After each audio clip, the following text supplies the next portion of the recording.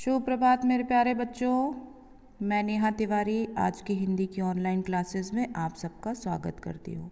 बच्चों, आज हिंदी विषय में हम पाठ एक का अध्ययन करेंगे, जिसका नाम है वह चिड़िया जो और इसके कवि हैं केदारनाथ अग्रवाल जी।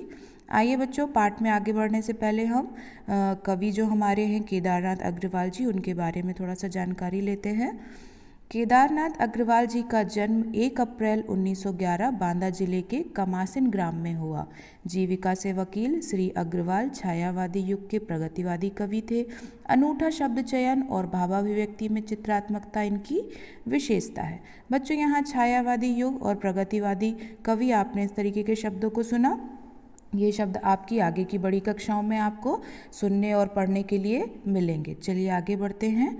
युग की गंगा, नींद के बादल, लोक और आलोक, अपूर्वा आदि इनके मुख्य काव्य संग्रह हैं। इनके कई निबंध संग्रह भी प्रकाशित हैं। ये साहित्य अकादमी तथा सोवियत लैंड नेहरू पुरस्कार से सम्मानित हुए। आइए बच्चों, पाठ में अब हम आगे बढ़ते हैं। इस पाठ में हमारी कविता में क्या कहा है कवि ने? वह चिड़िया जो चोंच मार कर दूध भरे झुंडी के दाने रुचि से, रस से खा लेती है, वह छोटी संतोषी चिड़िया नीले पंखों वाली मैं हूँ, मुझे अन्न से बहुत प्यार है।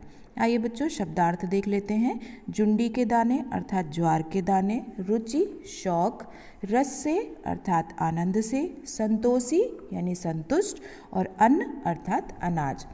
यहाँ पर कवि जी कहते हैं कि वह जो चिड़िया नीले पंखों वाली है, वो क्या करती है? अपनी चोंच से जो जुंडी के दाने हैं, ज्वार के दाने हैं, उनको खाती है। कैसे खाती है?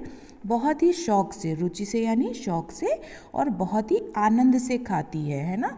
और जो जुंडी के दाने हैं, वो कैसे इतने रसीले हैं ऐसा लगता है जैसे दूध से भरे हुए हैं। वह जो छोटी सी चिड़िया है, वह बहुत ही संतुष्ट है, संतोषी है है ना? और उसे क्या है? अनाज से, अन्न से बहुत प्रेम है। ठीक है बच्चों? चलिए कविता में हम आगे बढ़ते हैं।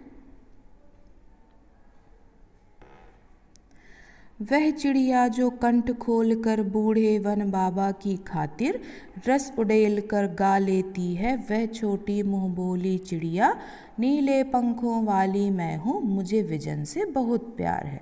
आइए बच्चों, शब्दार्थ देख लेते हैं। कंठ अर्थात गला, बूढ़े अर्थात पुराने, विजन अर्थात एकांत। वह जो चिड़िया है, नीले पंखों वाली है, वह कंठ खोलकर, अर्थात एकदम खुले गले से किसके लिए गाना गाती है? बूढ़े बनवाबा, अर्थात जो पुराना जंगल है, उसके लिए एकदम लीन होकर है ना, रस से आनंदित होकर है ना, आनंदित होकर वो गीत गाती है और वो छोटे मुँह वाली जो चिड़िया है, नीले पंखों वाली, उसे विजन, अर्थात एकांत से बहुत प्रेम है। चलिए बच्चों, आगे की पंक्तियों में बढ़ते हैं हम। वह चिड़िया जो चोंच मार कर चढ़ी नदी का दिल टटोल कर जल का मोती ले जाती है, वह छोटी गर्बीली चिड़िया नीले पंखों वाली मैं हूँ, मुझे नदी से बहुत प्यार है। आइए बच्चों, शब्दार्थ देख लेते हैं। चढ़ी नदी अर्थात पानी से भरी हुई नदी और गर्बीली अर्थात गर्व से भरी हुई।